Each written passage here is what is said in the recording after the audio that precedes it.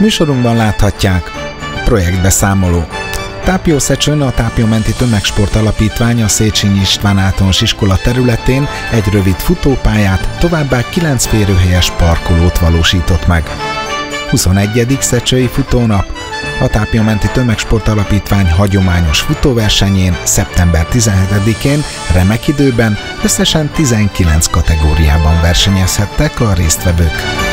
Szívünk napja Nagykátán 20 éve rendezik meg a Szívünk napját, ahol előadások, színes programok és ingyenes egészségügyi szűrések várják a lakosságot.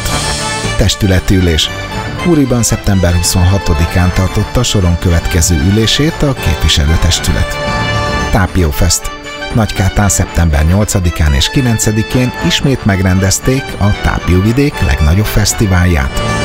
Szüreti rendezvény Úriban az esős idő miatt idén elmaradt a felvonulás.